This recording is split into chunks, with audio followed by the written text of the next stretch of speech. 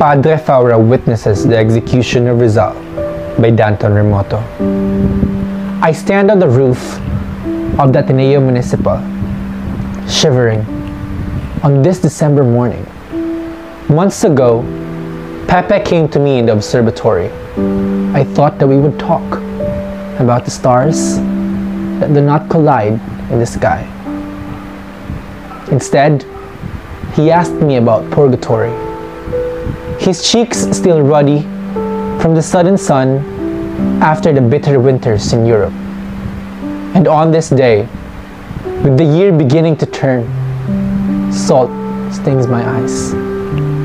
I see Pepe, a blur, between the soldiers with their Mausers raised and the early morning star still shimmering.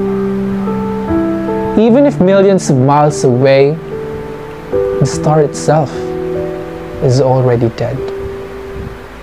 Padre Faura witnesses the execution of Rizal by Danton Remoto.